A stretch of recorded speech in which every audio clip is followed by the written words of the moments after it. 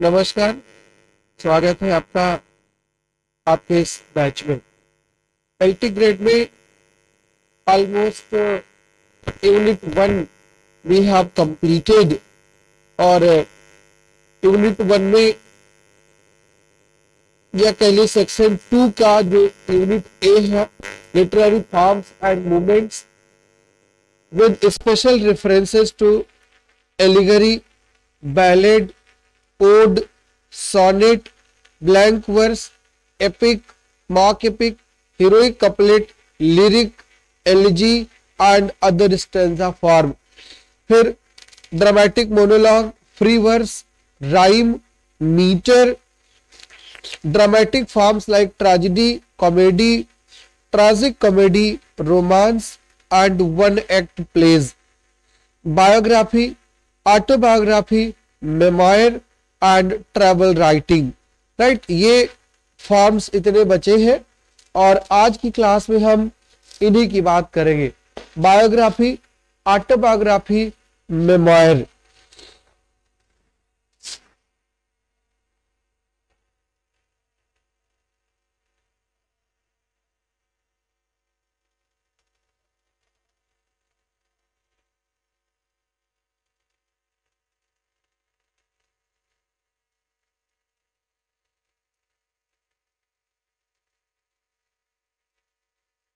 biography, autobiography, and memoir.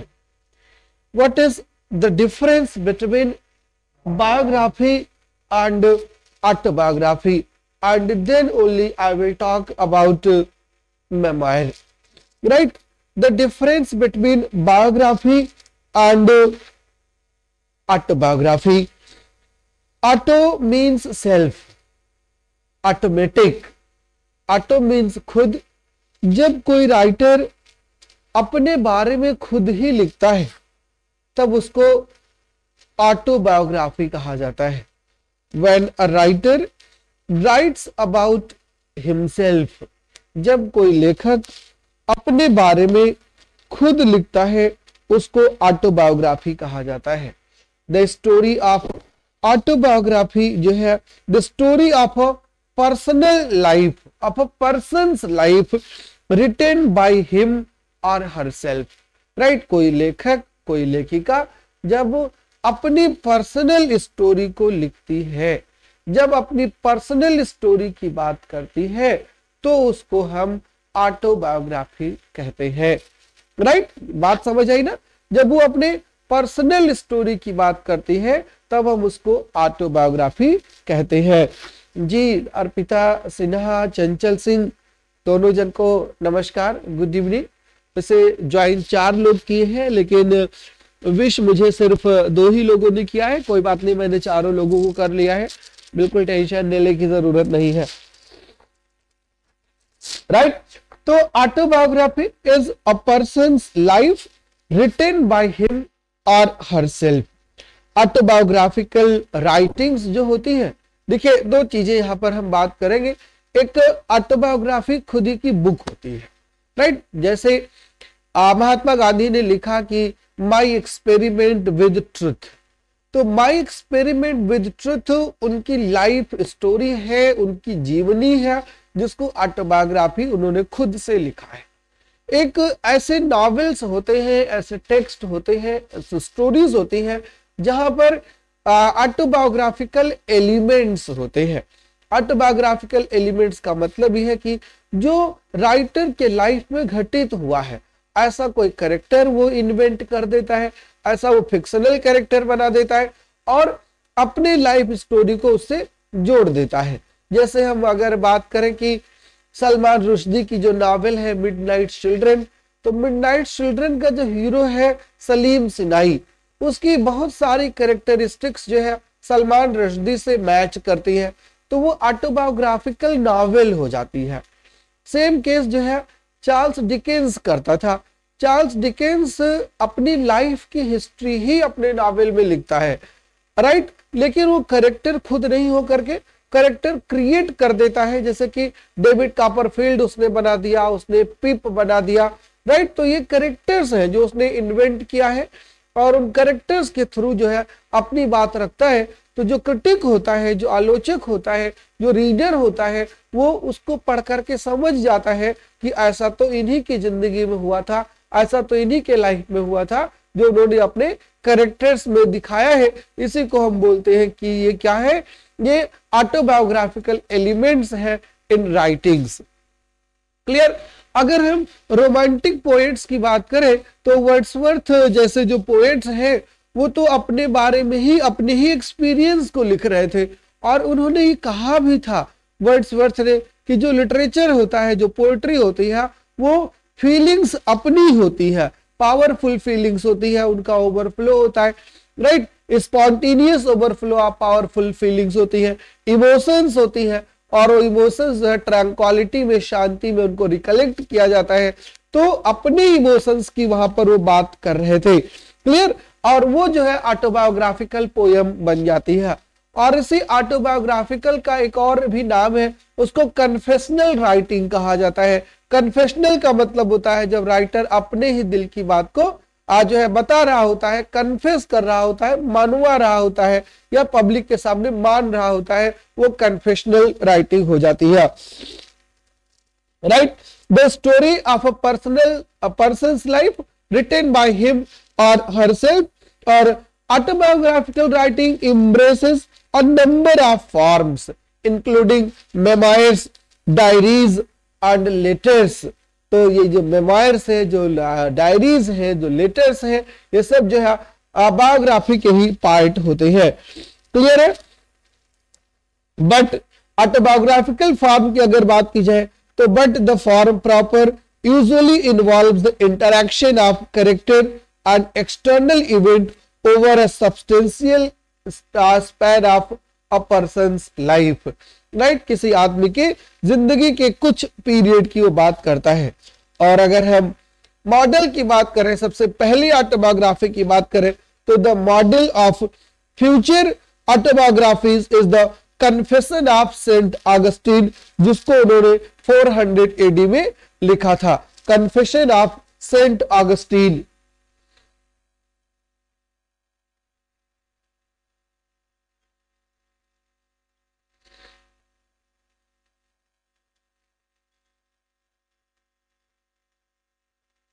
Saint Augustine की ये biography है।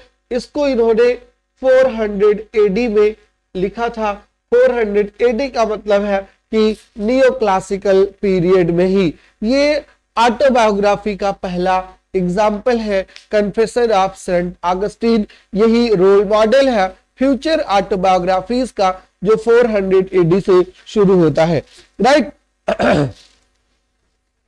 a passionate an intellectually powerful account of his life, right? Passionate और powerful powerfully intellectual विवरण है right right? बिल्कुल बुद्धिमत्ता पूर्ण विवरण है सेंट आगस्टीन की लाइफ का right culminating in his conversion to Christianity और कहाँ तक का है? उनके बचपन से लेकर के जब वो क्रिश्चियन बने हैं, तब तक की पूरी कहानी इस जो है बुक में है।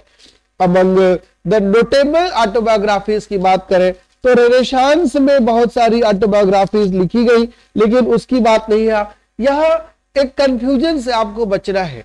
जैसे सेंट ऑगस्टीन की जो बायोग्राफी है, उसका भी नाम कन्फेशन है। और एक और राइटर था, जिसका नाम था जिया जैक रूसो रूसो ने भी अपनी बायोग्राफी लिखी है, और उसका नाम भी कन्फेशन है। राइट कन्फेशन उसका भी नाम है। यद्यप उन्होंने 1770 में लिखी है किसने जिया जैक रूसो ने। Jean Jacques Rousseau. Right Jean Jacques Rousseau R O U S S E A U इसको क्या पढ़ते हैं? इसको पढ़ते रूसो। राइट अब देखो, इसको कुछ लोग जीन पढ़ते हैं। Jean Jacques Rousseau. जबकि ये जीन जैक्स नहीं है, ये जैक्स रूसो है। जैक रूसो फ्रेंच नेम है। और फ्रेंच में जो आखिर वाले लेटर्स होते हैं, वो साइलेंट होते हैं। इसलिए इसका नाम जैक रूसो है। और इसने भी अपनी बायोग्राफी ऑटोबायोग्राफी लिखी है। और इनकी ऑटोबायोग्राफी का नाम है कन्फेशन जो 1766 से लेकर के 1770 के बीच में उन्होंने लिखी थी, ये जियाक रूसो की ऑटोबायोग्राफी है। क्लियर है? जियाक रूसो की ऑटोबायोग्राफी है। Paradoxically candid and self justifying right और गांधी जी की हमने आपसे बात कर ही ली तो ये सब इंपॉर्टेंट जो है ऑटोबायोग्राफीज है। राइट? मतलब आप समझ गए होंगे कि ऑटोबायोग्राफी किसी लेखक के द्वारा, किसी व्यक्ति के द्वारा अपनी बारे में, अपनी पर्सनल हिस्ट्री अपना पर्सनल अकाउंट होता है, उसको ऑटोबायोग्राफी कहा जाता है। जब हम बात बायोग्राफी की करते हैं ऑटो हटा देते हैं तो बायोग्राफी भी जीवनी ही होता है। और डिफरेंस ये है ऑटोबायोग्राफी और बायोग्राफी में कि बायोग्राफी खुद की ना हो करके किसी दूसरे की होती है। राइट? खुद की ना हो करके किसी दूसरे की होती है। कोई और लिखता है बायोग्राफी किसी और की। जब अपनी ही बायोग्राफी लिखी जाती है तो वो ऑटोबायोग्राफी होता है। और एक एग्जांपल ऑटोबायोग्राफी में सैमुअल टेलर कॉलरिज की भी बुक का है, जिसका नाम था बायोग्राफिया लिटरेरिया। बायोग्राफिया लिटरेरिया का मतलब कि बायोग्राफी वो एक लिटरेरी पर्सन की थी, वो बायोग्राफिया लिटरेरिया थी। और यहाँ पर जब हम ये देखते हैं बायोग्राफी में तो बायोग्राफी किसी और के लाइफ के बारे में कोई और लिखता है। राइटर कोई और होता है लाइफ किसी और की होती है। जी नूरी खान जी, नमस्ते, कैसी है आप? Right biography is the written history of someone's life किसी की ज़िंदगी का लिखित इतिहास होता है राइट लिखित अकाउंट होता है, उसको बायोग्राफी कहा जाता है right with attention not only to the events but to the characters and personality of the subject उसमें उस व्यक्ति के सिर्फ़ हिस्ट्री के बारे में ही नहीं बल्कि उसके चरित्र के बारे में चीज़ें दिया होता है, जिसको आप कह सकते हो ये चरित्र चित्रण है। राइट चरित्र चित्रण है। एग्ज़ाम्पल की हम बात करें तो डॉक्टर सैमुअल जॉनसन ने 52 पोएट्स की बायोग्राफी लिखी थी, जिसने डॉक्टर सैमुअल जॉनसन ने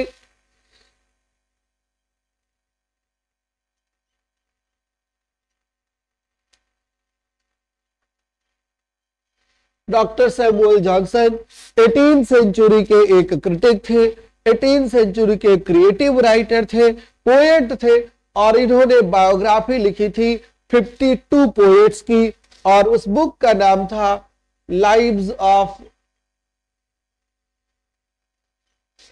eminent English poets.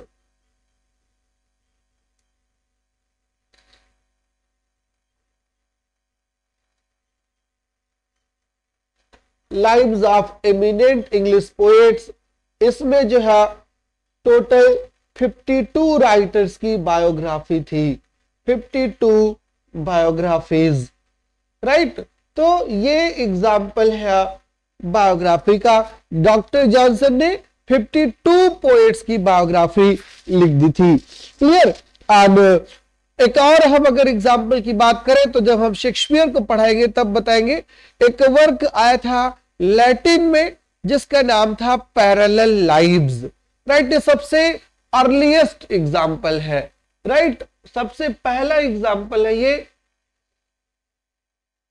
Parallel lives और इस वर्क को लिखा था प्लूटार्क ने।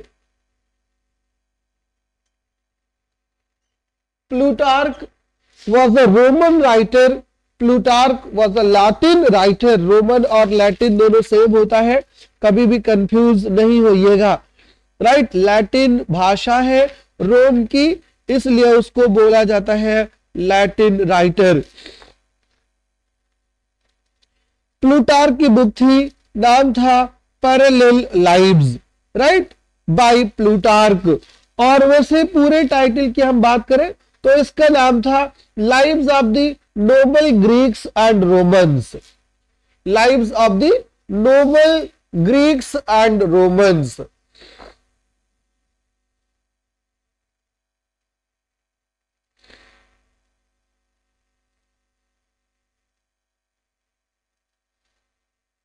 Greek और रोमन के जो इंपॉर्टेंट पोएट्स थे, जो इंपॉर्टेंट पॉलिटिशियंस थे उनकी लाइफ को इसने इंक्लूड किया था इसमें और इसमें टोटल 48 बायोग्राफीज है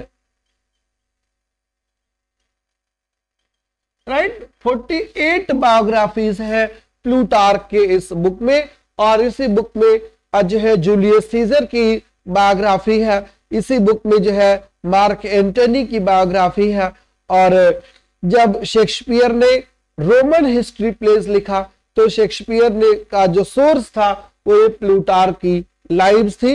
यद्यपि ये लैटिन में लिखी गई थी और इंग्लिश में इसको ट्रांसलेट किया था टॉमस नॉर्थ ने।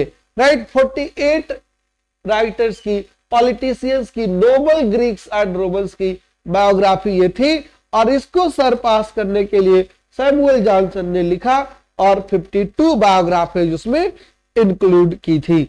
क्लियर? कोई दिक्कत हो कोई कंफ्यूजन हो तो बताइए। राइट? और इसमें किया क्या काम था उसने? इसका नाम ही था पैरेलल लाइव्स तो पैरेलल का मतलब समानांतर। एक कंपैरेटिव स्टडी यहाँ पर किया था।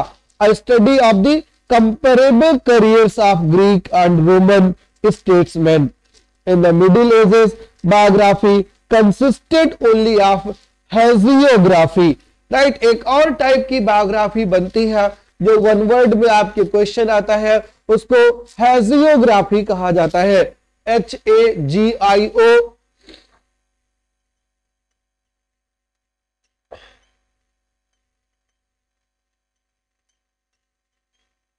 हैजियोग्राफी हैजियोग्राफी का मतलब होता है लाइव्स ऑफ़ सेंट्स संत महात्माओं की जो बायोग्राफी होती है, उसको हेजियोग्राफी कहा जाता है। और मध्यकाल में, मिडिल एजेस में तो सिर्फ़ इन्हीं पर ही काम हुआ था। राइट, मध्यकाल के लोग जो है, इन्हीं पर फोकस करते थे हेजियोग्राफी पर, लाइव्स ऑफ़ द सेंट्स पर। Right?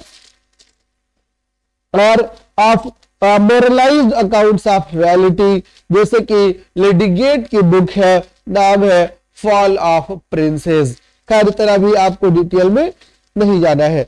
The renaissance emphasis on the individual found express in the recording of particular life one of the early examples in English is life of Sir Thomas More जो कि 1560 में लिखा गया था bye Thomas More का सन इन ला था।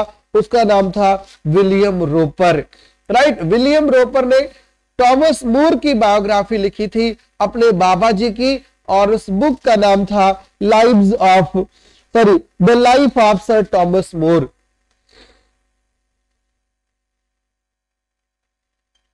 the life of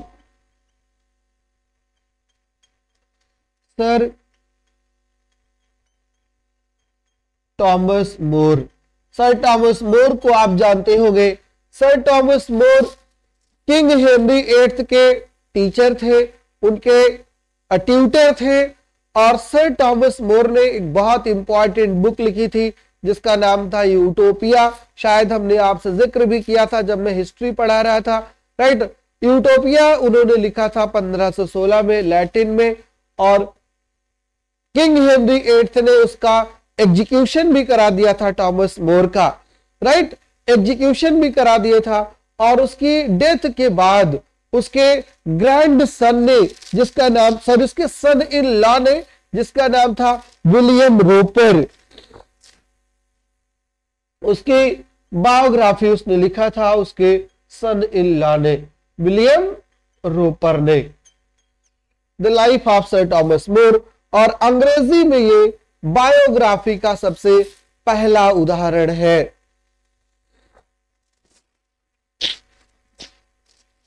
Noori Khan ji confusion है कि विक्टोरियन पीरियड की स्टार्टिंग अठारह से है कि 1832 से है।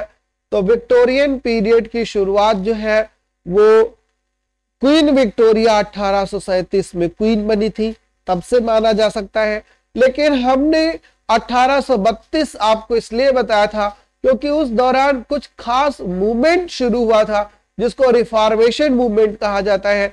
रिफॉर्म बिल 1832 से पैदा हुआ था। और रोमांटिक पीरियड के बहुत खास राइटर सर वाल्टर स्कॉट जो थे, उनकी डेथ 1832 में हुई है। तो वहाँ से भी विक्टोरियन पीरियड माना जा सकता है। क्लियर चलिए, ये बायोग्राफी का एग्ज़ाम्पल हो गया। ये ऑटोबायोग्राफी है कन्फेशन ऑफ़ सेंट ऑगस्टीन जो खुद उन्होंने लिखा है। रूसो की खुद की लाइफ है कन्फेशन ऑटोबायोग्राफी है लाइव्स ऑफ़ सेंट्स होता है। The life of Sir Thomas More ये बायोग्राफिक एग्ज़ाम्पल है, जो विलियम रॉपर ने लिखा है। प्लूटार का वर्क था parallel lives of noble Greeks and Romans ये बायोग्राफिक एग्ज़ाम्पल है। और lives of eminent English poets है। डॉक्टर सैमुअल जॉनसन का है, ये बायोग्राफी का एग्ज़ाम्पल है। कोई कंफ्यूजन कोई प्रॉब्लम कोई इश्यू हो तो बताइए, नहीं तो फिर हम प्रोसीड करते हैं।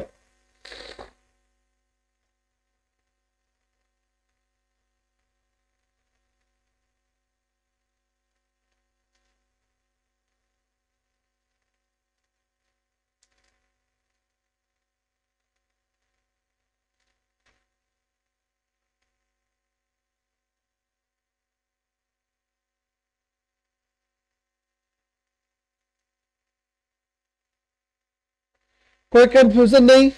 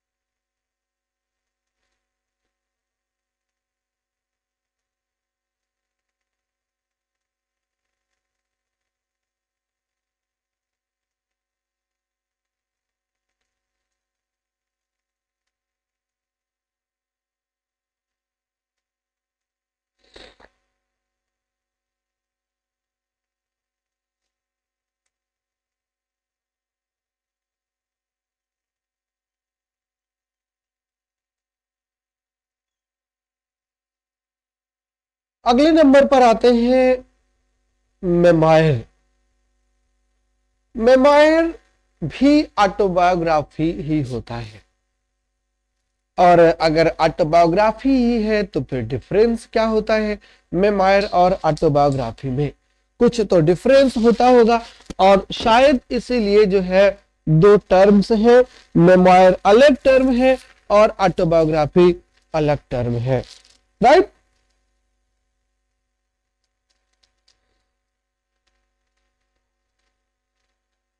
difference between autobiography and memoir.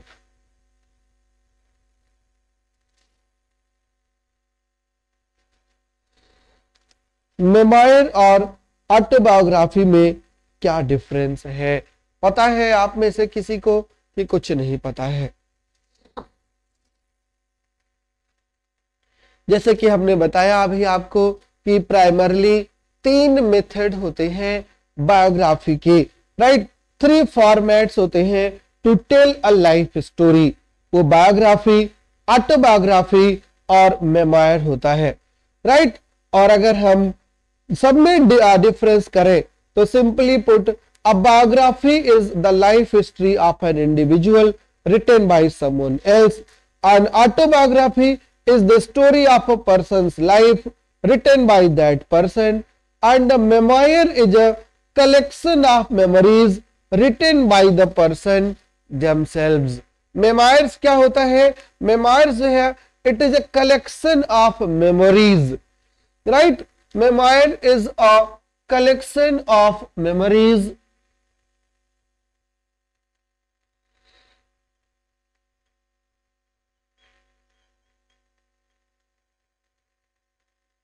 collection of memories होता है किस कौन लिखता है? कलेक्शन ऑफ़ मेमोरी जिसकी मेमोरी होती है, वही लिखता है। Right written by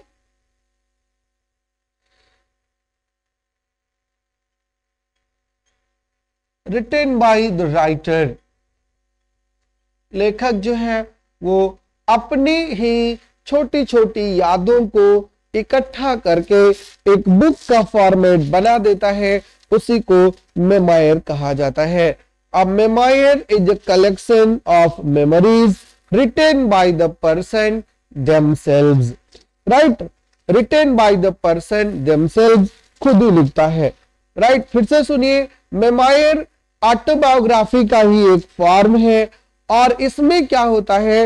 It subordinates the author's personal life to the public events in which he or she has participated यहाँ पर उसकी लाइफ की हिस्ट्री कम, बल्कि उस इवेंट को ज़्यादा महत्व दिया जाता है, जिसमें वो खुद पार्टिसिपेट करता है। राइट इसीलिए हमने कहा कि ये कलेक्शन ऑफ़ मेमोरीज है छोटी छोटी घटनाएँ, जिसका वो खुद भागीदार होता है, जिसमें खुद पार्टिसिपेंट होता है, जिसमें खुद वो पार्टिसिपेट करता है, उसी को वो लिखता है, उसी को कहा जाता है memoir ji the memoir writer recollect his personal contact with various person जो है हिज पर्सनल और प्रोफेशनल लाइफ में। जी, बिल्कुल सही है। जैसे हम अगर एग्ज़ाम्पल की बात करें तो सलमान रुश्दी का भी हाल ही में मेमायर आया था, और उसका नाम है Joseph Anton a memoir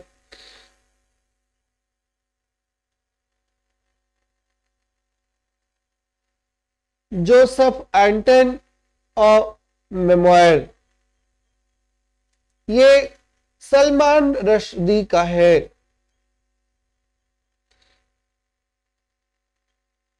और सलमान रुश्दी ने इसको लिखा है अपने लाइफ की उन घटनाओं के बारे में, जिसको उन्होंने उनके ऊपर जब फतवा जारी किया गया था, तब से जो फेस किया था। राइट तो it is a collection of several memories of Salman Rushdie वो सलमान रुश्दी का वर्क है जोसफ एंटेन वैसे जोसफ और एंटेन दो अलग अलग नेम है। जोसफ से जोसफ कॉन्डेड है और एंटेन से एंटेन चेको और दोनों का नाम काट करके एक नाम बनाया है और कर दिया है जोसफ एंटेन अब मेमायर ऑल राइट तो ये मेमायर का एग्ज़ाम्पल है। दूसरा अगर हम एग्ज़ाम्पल की बात करें तो एक राइटर का नाम सुना होगा सिमन द बुआ। सिमन द बुआ का वर्क था द सेकेंड सेक्स अगर आपको याद होगा। सिमन द बुआ का वर्क था memoirs of dutiful daughters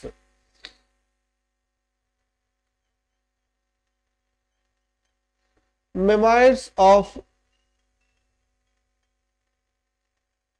dutiful daughters ये किसका मेमायर है? मेमायर्स ऑफ़ ड्यूटीफुल डॉटर से मेमायर है सिमन द बुआ का।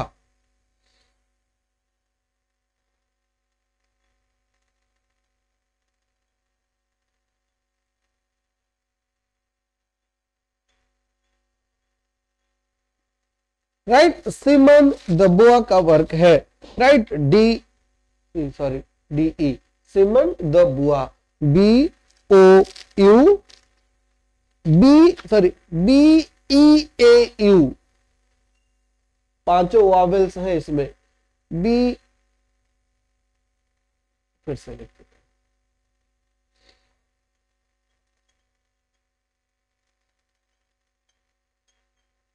ये। Simone de Beauvoir write a dutiful daughter 1958 में आया था ये। राइट तो ये मेमायर है right generally based on diaries letter on any other record yes Arpita 100 percent correct तो डिफरेंस बिल्कुल क्लियर हो गया ना कि an autobiography is written by the writer himself about his personal life biography is the life story of someone written by someone else and memoir is the record of memories of the writer by himself, they are written by themselves.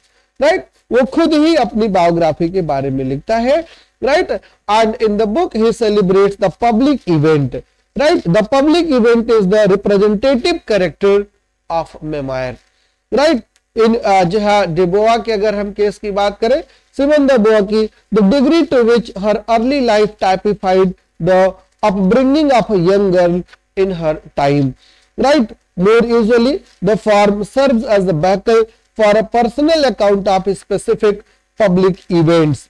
An example is present at creation 1978 में the memoirs of Dean right the secretary of the state during the establishment of the United Nations right तो ये अलग अलग examples है जो हमने आपको difference बताया यही डिफरेंस याद रखिएगा और अगर आपके पेपर में आता है तो आप यहाँ से अब क्वेश्चन गलत नहीं करेंगे।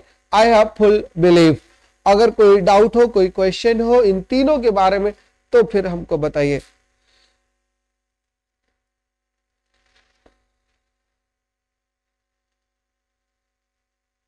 कोई कंफ्यूजन हो, कोई क्वेश्चन हो तो बताइए।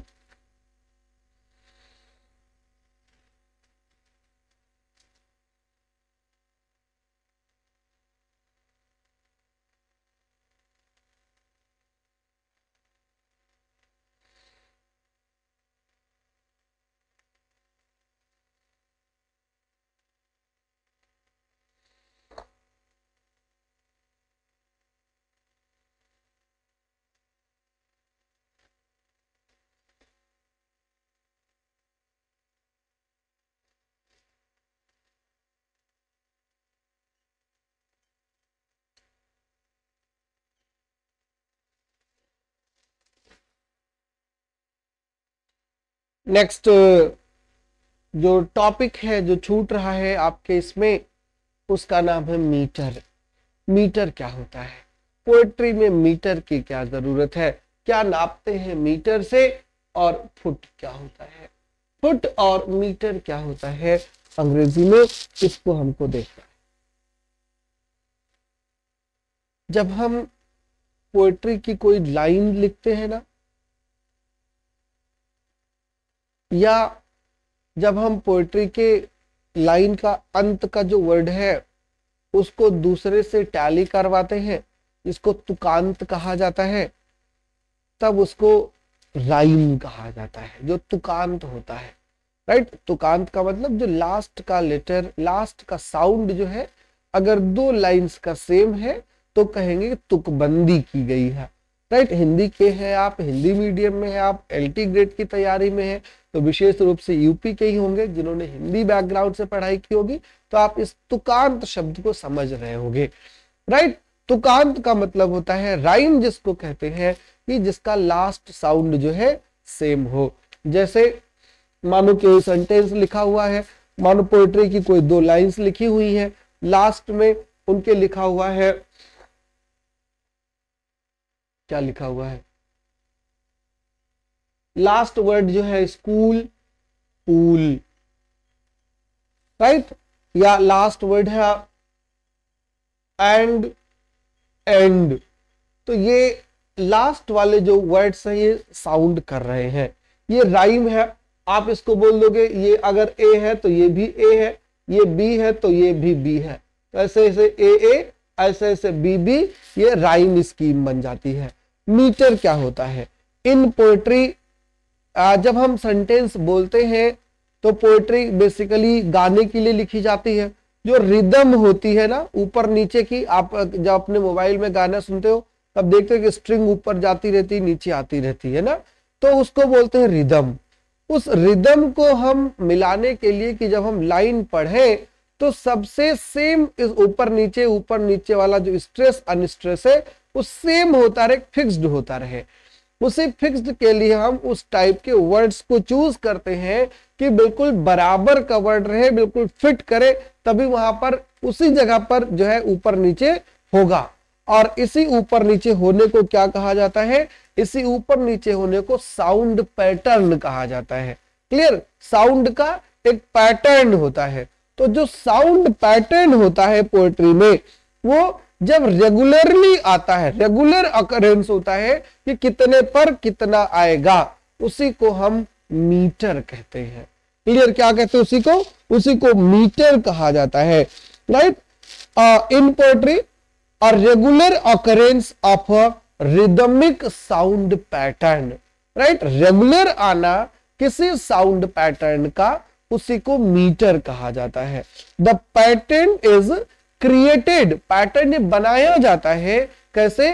By the repetition of certain number of accented and unaccented syllables कुछ निश्चित नंबर के एक्सेंटेड का मतलब जिस पर फोर्स किया जाए और अनएक्सेंटेड का मतलब जिस पर फोर्स ना किया जाए, ऐसे साउंड को, ऐसे साउंड के सिस्टमैटिक पैटर्न बनाया जाता है और उसी को जो है मीटर की कैटेगरी में रखा जाता है, उसी को मीटर कहा जाता है।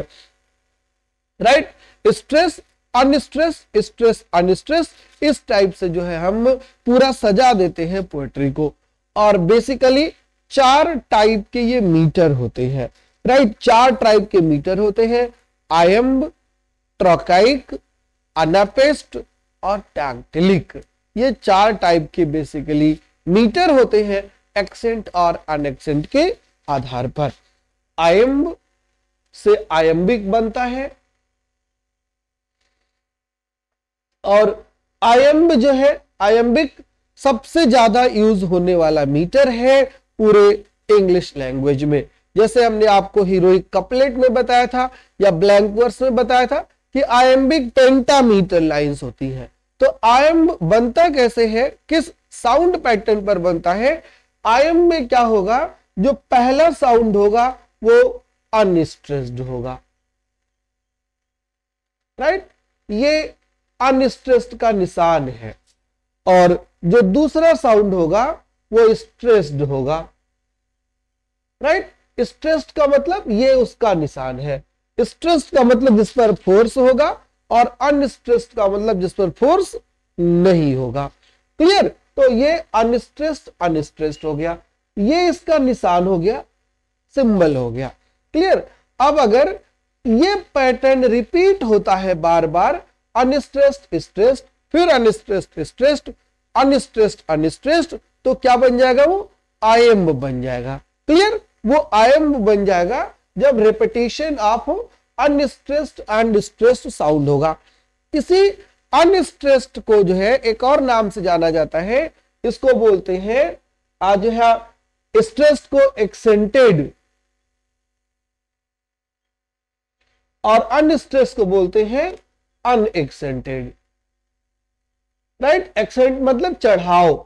चढ़ाव और उतार जब होता है तो जब ये पैटर्न रिपीट करता है, तब इसको आयम्ब कहा जाता है। क्लियर? अब अगर एक ग्रुप है ये तो एक ग्रुप को क्या कहा जाएगा? इसको वन फुट कहा जाता है। क्लियर अगर एक ही है तो वो वन फुट कहा जाता है और जो वन फुट होता है, उसी को क्या बोलते हैं? उसी को मोनोमीटर बोलते हैं। और अगर ऐसे दो ग्रुप है तो क्या बन जाएगा? तो वो टू फीट बन जाएगा। और जब वो टू फीट बन जाएगा तो टू फीट को डाई मीटर बोलते हैं। अगर वो तीन फीट है मतलब तीन ग्रुप बन गए हैं थ्री फीट है तो उसको क्या बोलेंगे? उसको ट्राई मीटर बोलेंगे। राइट अब अगर ऐसे का दो ग्रुप है तो हम बोल देंगे कि आयम्बिक डाईमीटर है। अगर वो तीन है तो बोल देंगे आयम्बिक ट्राई मीटर है। अगर वो चार है फोर फिट है तो उसको हम क्या बोल देंगे कि वो आयम्ब तो है, और आयम में मीटर कौन सा है? आयम में आयम्बिक टेट्रामीटर है। टेट्रामीटर बोलते हैं जो चार का हो। टेट्रामीटर है। और अगर वो पाँच का है तो हम उसको क्या बोल देंगे कि वो पेंटामीटर है। राइट? पाँच का है तो पेंटामीटर है। अगर वो छ का है तो वो हेक्सामीटर है। राइट? सात का है तो हेप्टामीटर है। आठ का है तो ऑक्टोमीटर है। और अगर वो दस का है तो वो डेकामीटर है। D E C A M E T E R तो डेकामीटर है। क्लियर तो ये पैटर्न होता है साउंड का राइट अब अगर एक स्ट्रेस्ड और sorry unstressed is followed by stressed तो हम क्या बना देते हैं? तो हम आयम्ब बना देते हैं। अब वो टोटल कितने हैं? आयम्ब का वो मीटर बन जाएगा। क्लियर कोई डाउट तो नहीं है? इस unstressed followed by stressed becomes iamb अब अगर हम इसको पलट दे राइट पलट देने का मतलब यह है कि पहले स्ट्रेस्ड आ जाए और बाद में अनस्ट्रेस्ड आए तो मीटर भी पलट जाएगा और उस मीटर को हम बोलेंगे कि वो ट्रोकाइक मीटर है। क्या बोलेंगे? ट्रोकाइक मीटर है। ट्रोकाइक का मतलब होता है कि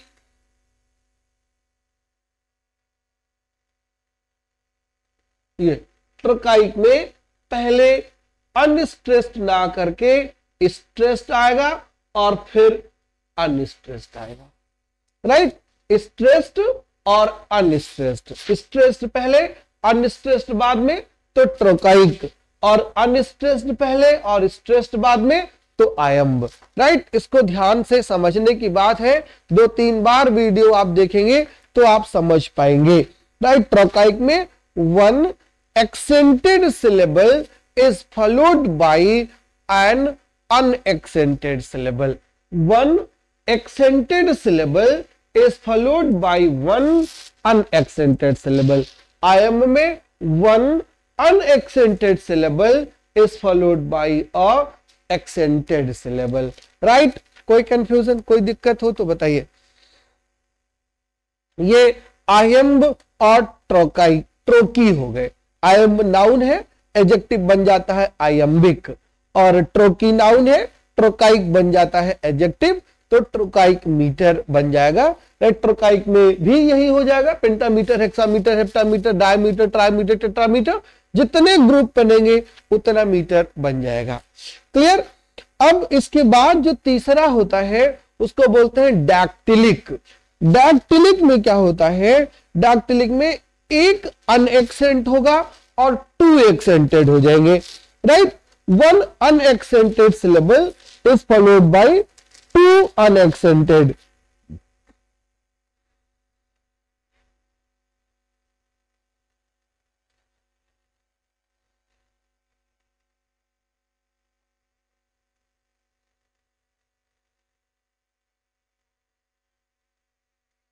dactylic में one accented syllable is followed by two unaccented syllable right ये ग्रुप बनेगा डैक्टिलिक में। और इसका अपोजिट होता है एनापेस्टिक एनापेस्टिक में टू अनस्ट्रेस्ड सिलेबल के बाद स्ट्रेस्ड सिलेबल आता है। एनापेस्टिक में two unaccented syllable is followed by one accented right two unaccented followed by accented ये एनापेस्टिक हो जाएगा और यही चार मेजर मीटर्स होते हैं पोएट्री में, जिनका नाम है आयम्बिक ट्रकाइक डैक्टिलिक और एनापेस्टिक कोई कंफ्यूजन हो तो बताइए।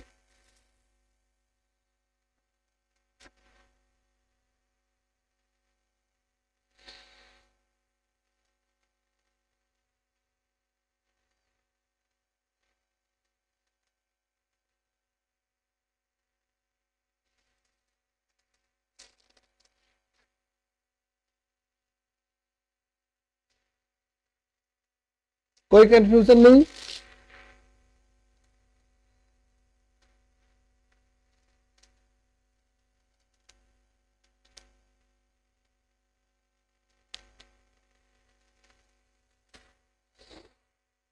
एग्ज़ाम्पल देखिए। The curfew tolls the nil of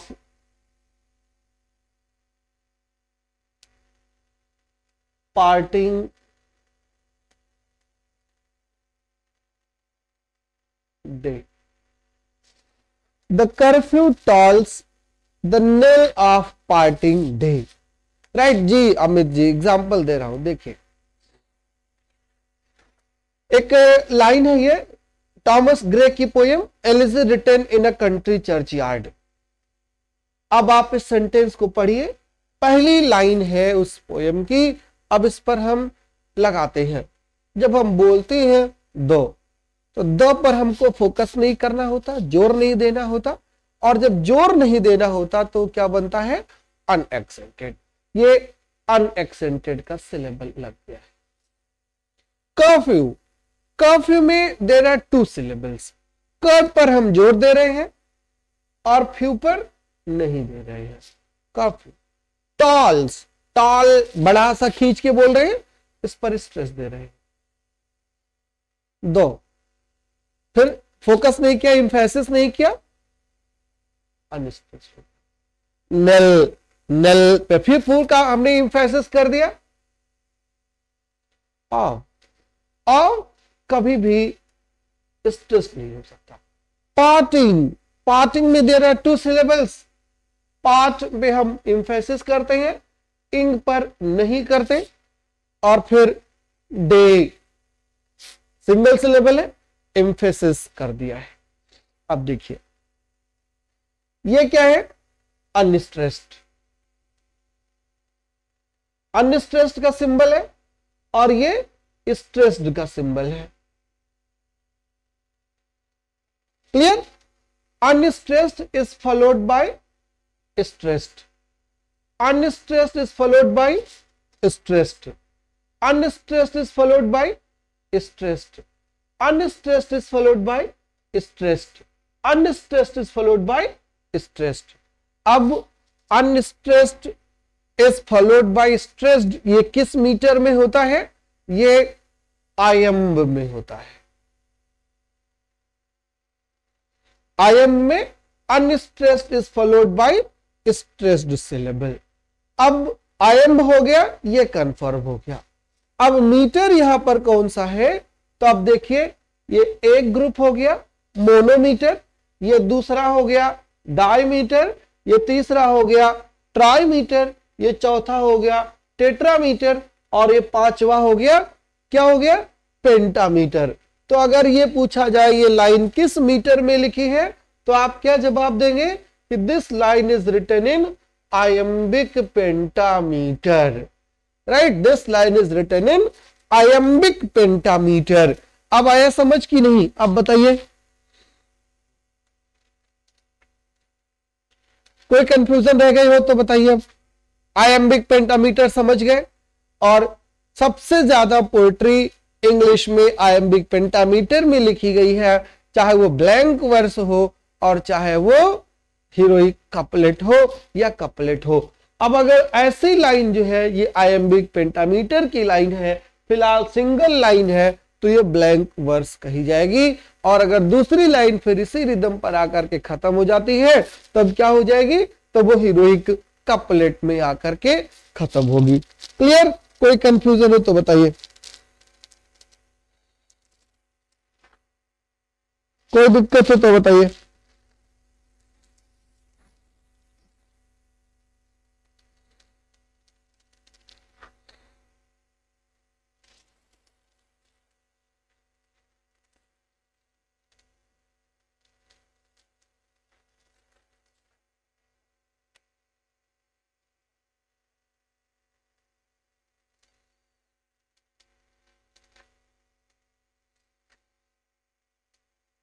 done. चलिए। अब इसी डन के साथ यूनिट वन यहाँ पर क्लोज होती है और अब हम आएँगे यूनिट बी पर। और बी यूनिट जो है, वो है पोएट्री। की पोएट्री में कुछ पोएम्स ट्रेंड्स एंड मूवमेंट्स दिया है। ट्रेंड्स एंड मूवमेंट्स हम उस पोएम के साथ ही आपको बताते चलेंगे। Trends and movements with special reference to the poems Shakespeare के सोनेट दिए हुए हैं। सोनेट नंबर 29 और सोनेट नंबर 138 नेक्स्ट क्लास में हम शेक्सपियर के इन दोनों सोनेट्स की बात करेंगे और आप दोनों सोनेट्स को पढ़िएगा और टेक्स्ट लेकर के बैठिएगा, अपने मोबाइल से डाउनलोड करिएगा, टेक्स्ट लेकर के बैठिएगा, ताकि जब हम पढ़ें तो आप भी उसको देखते रहे और एक एक वर्ड एक एक लाइन बिल्कुल क्लियर करते चले। क्लियर? दोनों सॉनेट्स आप करके बैठेंगे। ठीक है? Thank you very much next class Monday को है। ठीक है? Well done good luck